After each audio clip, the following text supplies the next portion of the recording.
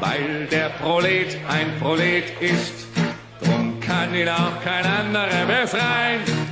Es kann die Befreiung der Arbeiter nur das Werk der Arbeiter sein. Drum links zwei, drei, drum links zwei, drei, der Platzgenosse ist.